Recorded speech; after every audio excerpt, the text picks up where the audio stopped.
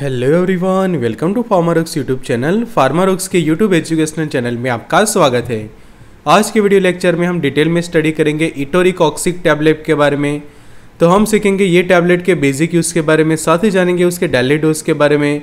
जानेंगे उसके side effects क्या होती है वार्निंग एंड कॉन्ट्राइंडिकेशंस को डिटेल में आज के लेक्चर के अंदर। और जानेंगे कि कौन से बीमारी के अंदर इटोरिक ऑक्सिक मेडिसिन को यूज़ किया जाता है। तो शुरू करते हैं आज का लेक्चर और सीखते हैं इटोरी कॉक्सिप के बारे में expert lecture by Amar sir assistant professor and founder of Pharmarox thank you for being Pharmarox family updated रहिए फार्मा नॉलेज के साथ एक्सेस करिए स्टडी मटेरियल टेस्ट सीरीज़ साथों साथ disease and medicine related course Pharmarox के ऊपर, सीखे दवाइयों के बेसिक यूज़ के बारे में, उनके डोज के बारे में side effects warning and contraindications एक साल तक अफोर्डेबल प्राइस में, वो भी सरल भाषा में फार्मारोक्स के ऐप ऊपर। तो Android user Android app download करके कोर्स को एक्सेस कर सकते हैं आईफोन यूज़र ऐप स्टोर से।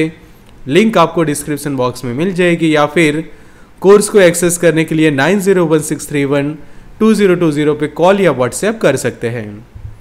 तो अब समझते हैं इटोरिक ऑक्सीड टैबलेट के बारे में। तो ये ऐसे क्लास का मेडिकेशन है कि जिसको हम कहते हैं non steroidal anti inflammatory drugs और ये मेडिकेशन के पास ऐसी प्रॉपर्टीज़ है कि जो हमारी बॉडी के अंदर सूजन कम करती है और साथों साथ एनाल्जेसिक मतलब कि दर्द निवारक के तौर पे भी ये काम करता है। मतलब कि सिंपली हम समझे तो ये मेडिकेशन एक पेन किलर के तौर पे काम करता है, कि दर्द कम करता है।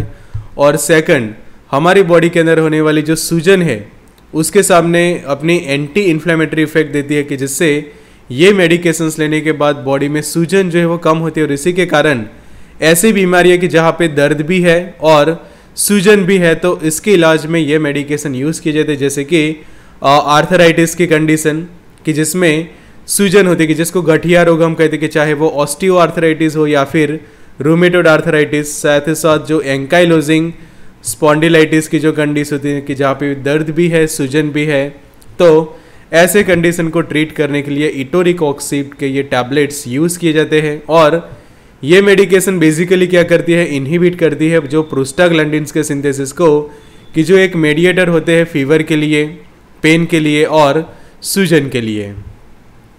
तो अब उसकी मेकेनिज्म में आपको समझाता हूँ कि किस तरह से इटोरिक ऑक्सीप जो है वो काम करते तो यहाँ पे प्रॉपर आप ध्यान देना कि पहले जो नॉर्मल पाथवे है, उसके ऊपर आप ध्यान दीजिए कि जो अराचिडोनिक एसिड है, वो जो साइक्लो ऑक्सीजनेज एंजाइम्स जो होते हैं, उसके इफ़ेक्ट के कारण आगे जाके प्रोस्टाग्लैंडिन्स बनाते हैं और ये प्रोस्टाग्लैंडिन पेन के मेडिएटर्स होते हैं इन्फ्लेमेशन एंड फीवर के। मतलब कि जिस जगह पे ये प्रोस्टाग्लैंडिन्स रिलीज़ होते हैं तो वहाँ पे आपको पेन होता है मतलब कि दर्द होता है, सूजन हो जाती है और बुखार आता है। तो हमारी ये जो मेडिकेशन क्या करती है जो कॉक्स एंजाइम है, उसको इनहिबिट करती है। बिकॉज़ जब, जहाँ पे हमें इंजरी होती है, कोई पार्ट हमारा बॉडी का डैमेज होता है तो वहाँ पे ये प्रोस्टाग्लैंडिन्स रिलीज़ होते हैं, जिससे हमें दर्द महसूस होता है। तो इटोरिकॉक्सिक जब मेडिसिन आप लेते हैं, कि उसका समझे कि 120 ट्वेंटी का टैबलेट लेते हैं, या फिर 90 मिलीग्राम का तो ये मेडिकेशन क्या करेगी? ये वाला जो पाथवे है, वो ब्लॉक कर देगी, जिससे ये कॉक्स की जो इफ़ेक्ट है, वो कम्प्लीटली बन हो जाएगी।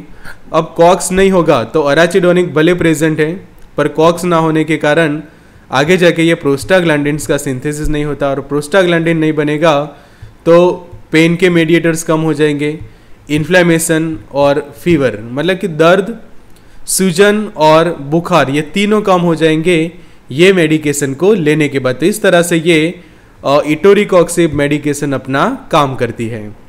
तो इसको selective COX two inhibitor drug कहा जाता है कि जब आप उसकी डिटेल फार्माकोलॉजी पढ़ते हैं तो उसमें क्लासिफिकेशंस के अंदर आपके ये medication non steroidal anti inflammatory drugs के अंदर कॉक्स टू इनहिबिटर कैटेगरी के अंदर इंक्लूड होती है और वो भी सिलेक्टिव कॉक्स टू आगे समझ लेते हैं उसके डोज के बारे में कि डेली डोज क्या रहेगा। तो 60 से लेकर 120 मिलीग्राम ओडी मतलब कि वन से डे दिन में एक ही बार। और मैक्सिमम आप 120 ट्वेंटी जितने डोज ले सकते हैं पर डे तो आप समझ लीजिए कि अगर आप ये 120 ट्वेंटी वाला टैबलेट लेते हैं तो उसको दिन में एक ही बार लीजिए खासकर कि अगर आप मैक्सिमम डोज को फॉलो करते हैं तो वन से डे इस तरह से कि किसी भी टाइम पे एक ही टैबलेट उसको लें। अगर 90 मिलीग्राम का भी यूज़ कर दे तो भी आप उसको वंस अ डे दिन में एक ही बार यूज़ करें। और तीसरा कंडीशन अगर आप 60 मिलीग्राम का डोज ले रहे हैं तो वो भी आप वंस अ डे यूज़ कर सकते हैं, या फिर आपको वो दिन में दो बार भी ले सकते हैं। अगर आपको 120 ट्वेंटी करना है और वो डिवाइडेड डोज में लेना है तो 60 एम प्लस 60 एम इस तरह से दिन में दो बार लेकर भी आप 120 ट्वेंटी जितना डोज कर सकते हैं। तो इससे फ़ायदा ये होता है कि कई बार आपको कुछ साइड इफ़ेक्ट्स होती हो तो वो आप मिनिमाइज़ कर सकते अगर आप उसको डिवाइडेड डोज मिले तो हर 12 घंटे पे एवरी 12 आवर पे आप ये मेडिकेशन का डोज ले सकते हैं। और अगर मिनिमम डोज में स्टार्ट करना है तो ये 60 एम के टैबलेट दिन में एक बार भी आप ले सकते हैं। तो कंडीशन ये है, आपको याद रखनी है कि ज़्यादा से ज़्यादा 120 ट्वेंटी ही लेना है पर डे उससे ज़्यादा कभी भी डोज आप ना लें। क्यों नहीं लेना? तो मैं आपको आगे उसके कुछ साइड इफ़ेक्ट समझाऊँगा सीरियस तो उस वक्त आपको पता चलेगा। अब समझ लेते उसके इंडिकेशंस या फिर उसके जो हम कहते हैं कि यूजेस क्या होते हैं। कौन से कंडीशंस में हम इसको यूज़ कर सकते हैं? तो etoricoxib specially pain relief pain killer के तौर पे हम यूज़ करते हैं। साथों साथ, ये मेडिकेशन ऐसे कंडीशंस में प्रिस्क्राइब की जाती है कि जहाँ पे पेन सूजन और उनके कारण फीवर हो जाता है। जैसे कि आपको मसल्स पेन होता है फीवर है और टूथ पेन की कंडीशन मतलब कि दांत में दर्द हो रहा है, बहुत ही दर्द हो रहा है दांतों में। और हमें पता है कि जब दांतों में दर्द होता है तो उस दौरान हमें मसल्स में भी पेन होता है और फीवर भी हो जाता है, बुखार भी हो जाता है। तो उस वक्त इटोरिक ऑक्सिक के टैबलेट आपको आपके डॉक्टर या फिर फार्मासिस्ट जो है, वो सजेस्ट कर सकते हैं। फिर बॉन्ड फ्रैक्चर जब होता है, उसके दौरान जब काफ़ी पेन होता है मसल्स के अंदर जब क्रैम्प्स आते हैं या फिर आपके जॉइंट पेन मतलब कि जो जोड़ों का दर्द में भी ये मेडिकेशन जो है वो यूज़फुल साबित हो जब बॉन में फ्रैक्चर होता है, तब भी आप देखो, वहाँ पे सूजन आ जाती है, आपको बुखार भी आता है और दर्द होता है। तीसरे कंडीशन देखिए तो ऐसी कंडीशंस कि जिसको हम गठिया रोग कहते हैं, खासकर ऑस्टियो आर्थराइटिस है, या फिर रूमेटेड आर्थराइटिस या फिर एंकाइलोजिंग स्पॉन्डेलाइटिस जैसे मेडिकल कंडीशंस में इटोरिकॉक्सिक टैबलेट को यूज़ किया जाता है। अब समझते हैं उसके कुछ कॉमन साइड इफ़ेक्ट कि कॉमन आपको नोजिया वॉमिटिंग हो सकती है मतलब कि आपको ये मेडिकेशन लेने के बाद उल्टी हो सकती है, पेट में दर्द हो सकता है एपिगैस्ट्रिक पेन हो सकता है मतलब कि जो एब्डोमिनल कैविटी में आपको पेन हो सकता है नोजिया मतलब कि जी घबराना इनडाइजेशन मतलब कि अपाचन जैसी कंडीशन कि आपको ऐसा फील हो कि आपका खाना जो आपने खाया है वो डाइजेस्ट नहीं हुआ है प्रॉपर या फिर आपको दस्त हो सकते हैं डायरिया जो हम कहते हैं।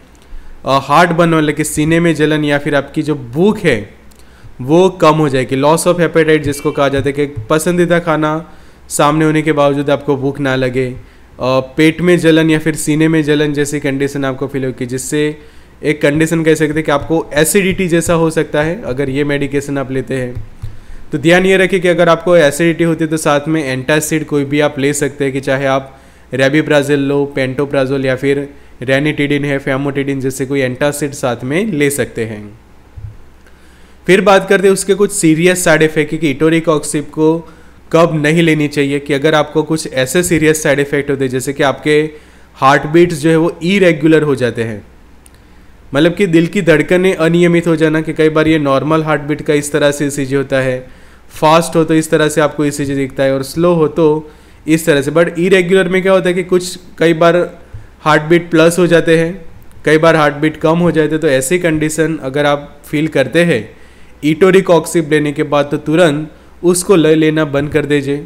फिर कुछ लोगों का जो ब्लड प्रेशर है वो काफ़ी हाई हो जाता है कि जो हमें नॉर्मल पता है कि नॉर्मल ब्लड प्रेशर रहता है 120 से लेकर एटी कि जो सिस्टोलिक और डायस्टोलिक के अंदर है, और वो यूनिट रहता है मिलीमीटर मर्क्यूरी यूनिट तो जब आपका ब्लड प्रेशर काफ़ी हाई हो जाता है, अगर ये मेडिकेशन लेने के बाद तो तुरंत उसको लेना बंद कर देना चाहिए बिकॉज़ ये आपके लिए डेंजरस साबित हो सकता है आगे जाके। फिर कुछ लोगों को ईडीमा ईडीमा मतलब कि उसका सिंपल इंग्लिश मीनिंग समझे तो इन्फ्लामेशन सूजन हो जानी।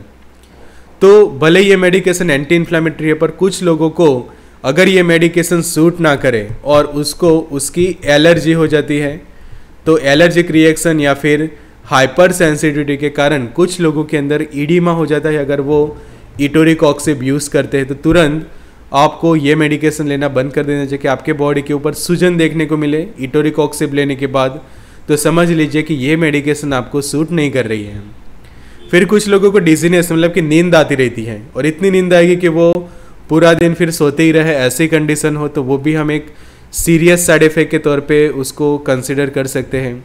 फिर कुछ लोगों को काफ़ी सर दर्द होता रहता है तो भी आपको ये मेडिकेशन नहीं लेनी चाहिए। तो यहाँ पे एडवाइस है कि stop taking if you feel any of serious side effect of the medicine की कोई भी ऐसे सीरियस साइड इफ़ेक्ट आपको देखने को मिलती है कि चाहे आपके हार्ट बीट इंक्रीज हो रहे हैं डिक्रीज हो रहे हैं इरेगुलर हो गए हैं ब्लड प्रेशर बढ़ रहा है डिजीनेस सर दर्द या फिर एलर्जिक रिएक्शंस के तौर पे आप ईडीमा फील कर रहे हैं। कॉन्ट्रा इंडिकेशन देखें तो किन लोगों को ये मेडिकेशन यूज़ नहीं करनी है? तो अगर आपको एलर्जी है non steroidal anti inflammatory drug की का यूज़ ना करें। अगर आपको आइकेमिक हार्ट डिसीज़ है, कि आपका हार्ट मतलब कि आपका दिल जो है वो कमज़ोर है ऑलरेडी या फिर हार्ट फेलियर के आप पेशेंट है तो भी उसको यूज़ ना करें। पेरीफेरल आर्टरीज डिसीज़ कि आपके आर्टरीज के अंदर इस तरह से कोलेस्टेरॉल या फिर फैट जमा है तो भी यूज़ ना करें। फिर सेरेब्रोवास्कुलर जो प्रॉब्लम होते हैं, उसमें भी ये मेडिकेशन यूज़ ना करें। फिर अगर आपका पैप्टिक अल्सर है, कि गैस्ट्रिक में अल्सर है, और डिओडिनल अल्सर है, या फिर इसोफेगियल अल्सर है तो भी ये लोग ये मेडिकेशन को यूज़ ना करें बिकॉज़ ये मेडिकेशन लेने से अल्सर की कंडीशन और ज़्यादा ख़राब हो सकती है। फिर आपको लीवर रिलेटेड प्रॉब्लम, कि आपका लीवर अच्छे से काम नहीं कर रहा या फिर आपके किडनीज अच्छे से काम नहीं कर रहे तो भी इटोरिकॉक्सिप को यूज़ नहीं करनी चाहिए। बच्चों में उसको खासकर यूज़ ना करें बिकॉज़ बच्चों के लिए पैरासीटामोल ही बेस्ट है। उसके अलावा कोई भी non steroidal anti inflammatory drug बच्चों में यूज़ ना करें। उसी तरह से प्रेगनेंसी में भी सेफ़ मेडिकेशन जो है वो पैरासीटामोल ही रहती है। तो ये दोनों कंडीशन में अगर आपको पेन है, सूजन है फीवर है तो सिर्फ़ और सिर्फ़ आप पी की जिसको पैरासीटामोल हम कहते हैं, वो यूज़ करें। कभी भी इटोरिकॉक्सिप को यूज़ ना करें। तो ये हो गए उसके वार्निंग या फिर कॉन्ट्राइंडिकेशंस तो ऐसे ही सीखे दवाइयों के बेसिक यूज़ के बारे में, उनके डोज क्या होते हैं, उनके साइड इफ़ेक्ट्स उनके वार्निंग कॉन्ट्राइंडिकेशंस एक साल तक अफोर्डेबल प्राइस में वो भी सरल भाषा में जैसे अभी सीखा, ऐसे ही सीखे दवाइयों के बारे में उनके पीडीएफ एक्सेस कर सकते हैं पीपीटीज एक्सेस कर सकते हैं और वो भी अफोर्डेबल प्राइस में एक साल तक। थे डाउनलोड करिए app Pharmarox Android user Android app download कर सकते हैं आईफोन यूज़र ऐप स्टोर से, या फिर nine zero one six three one two zero two zero पर आप हमें व्हाट्सएप कर सकते हैं। तो लिंक्स आपको डिस्क्रिप्शन बॉक्स में मिल जाएगी। Good luck and all the best